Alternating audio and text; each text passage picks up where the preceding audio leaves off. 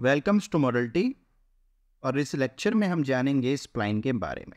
देखिए spline command का जो शॉर्टकट होता है, वो होता है एस पी एल एंटर और स्प्लाइन को हम क्यों यूज़ करते हैं, उसके पहले हम जान लेते हैं स्प्लाइन होता क्या है। तो स्प्लाइन एक फ्री हैंड स्केच होता है जनरली और इसको क्रिएट कैसे करते हैं, देखिए।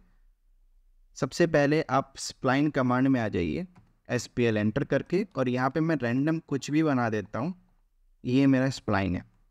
और जैसे आप देख सकते हैं, ये फ्री एंड स्केच है। और स्प्लाइन में कोई डायमेंशन नहीं होती, ये डायमेंशन लेस एंटिटी है। अब इस प्लान को हम यूज़ किस लिए करते हैं? एक एग्ज़ाम्पल के थ्रू समझते हैं। जैसे आप देख सकते हैं, यहाँ पे हमने ब्रोकन आउट सेक्शन व्यू लिया हुआ है और इस केस में हमने इस पार्ट को ब्रोक करके दिखाया है सेक्शन दिखाया है इसका। तो यहाँ पे ये जो एंटिटी आप देख सकते हैं, कुछ इस तरीके से जो बन रही है, ये इस प्लाइन के थ्रू जनरेट होती है। या फिर अगर आप शाफ्ट का एंड दिखाना चाहो, जैसे कि यहाँ पे आप देख सकते हैं, ये जो शाफ्ट का एंड होता है, ये भी आप ब्रोकन आउट सेक्शन सॉरी ये भी आप स्प्लाइन के थ्रू जनरेट कर सकते हैं। ब्रोकन आउट सेक्शन में आपको यहाँ पे भी देखने को मिल रहा होगा। तो इस केस में हम स्प्लाइन का यूज़ करते हैं।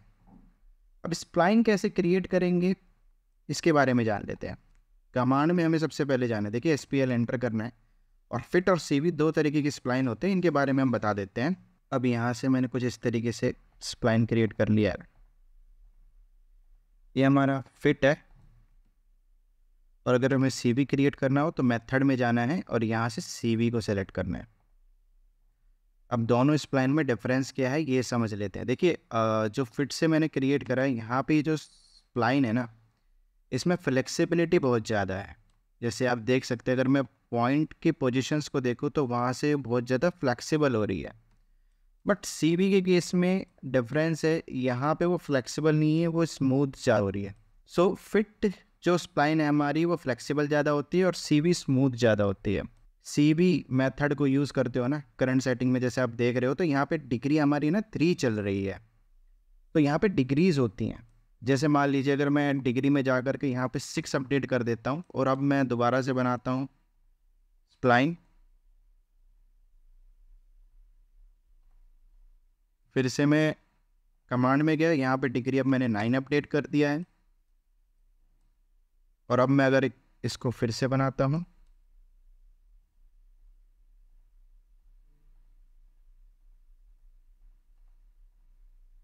तो कुछ इस तरीके से बन गया।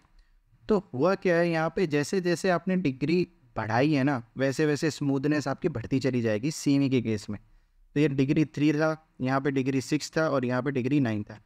अगर मैं डिग्री वन कर देता हूँ तो उस केस में क्या होता है? तो देखिए, वन के केस में क्या होगा, आपकी स्मूदनेस रहेगी नहीं, ये लाइन की तरह ही आपको दिखेगी, ठीक है? बट होगी एक स्प्लाइन ही जैसे आपको यहाँ पे दिख भी रहा है, ये स्प्लाइन है। अब मैं इसको डिग्री थ्री ही कर देता हूँ। मान लीजिए ये दो स्प्लाइन है मेरे पास। अब मुझे इसको चेंज करना होगा सीवी में और इसको फिट में चेंज करना हो तो उसके लिए क्या तरीका है? देखिए सेलेक्ट करेंगे। सेलेक्ट करने के बाद यहाँ से ड्रॉप डाउन एरो में इसको कंट्रोल वर्टिस मैंने यहाँ पे सेलेक्ट कर लिया। अब देख सकते हैं जो इसके पॉइंट हैं, वो पोजीशन उनकी चेंज हो चुकी है। तो यहाँ से रिपोजिशन कर देते हैं इस तरीके से। तो आप इसको बदल सकते हो। अभी ये जर्नली आपकी सी में है। और अगर आपको इसको फिट करना है तो आप इसको सेलेक्ट कर लीजिए। यहाँ से सेलेक्ट कीजिए। और इसको फिट कर दीजिए। ये कुछ इस तरीके से हो जाएगी आपके फिट।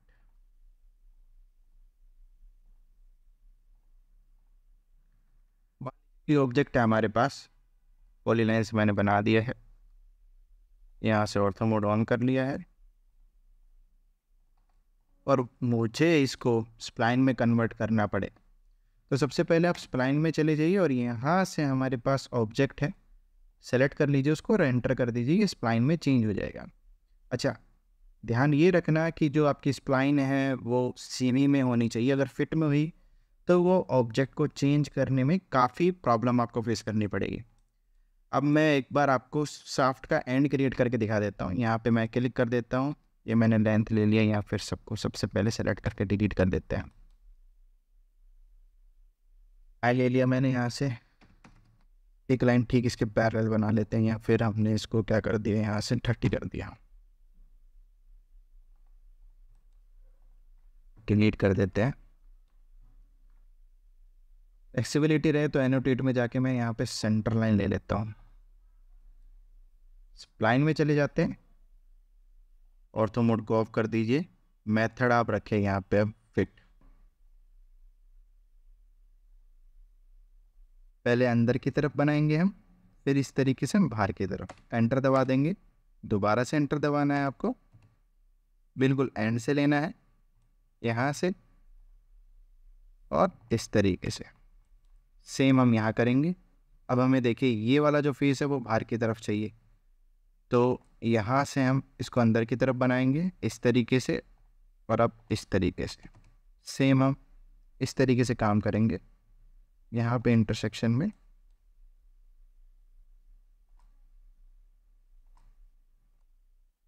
हमारी जो शाफ्ट एंड है, वो रेडी हो चुका है। और अगर मान लीजिए मैंने यहाँ पे स्लॉट बना दिया भाई रैंडम इस तरीके से। स्प्लाइन में ले लेता हूँ। तो यहाँ पे हम स्प्लाइन ले लेंगे। इस तरीके से इसको क्रिएट कर लेंगे। अब यहाँ पे हम हैच लगा देंगे। हैच एंटर करेंगे। हैच का पैटर्न हमारा ये है। स्केल हम कर देंगे और छोटा। और यहाँ से इसको ओके कर देंगे, ये देखिए। ब्रोकन आउट सेक्शन भी लग रहा है, बस ऊपर वाले पोर्शन को आपको ट्रिम करना पड़ेगा। सेम हमें यहाँ पे लगाना है। तो एच में हम चले जाएँगे। और एक यहाँ पे और एक ये एच लग गया।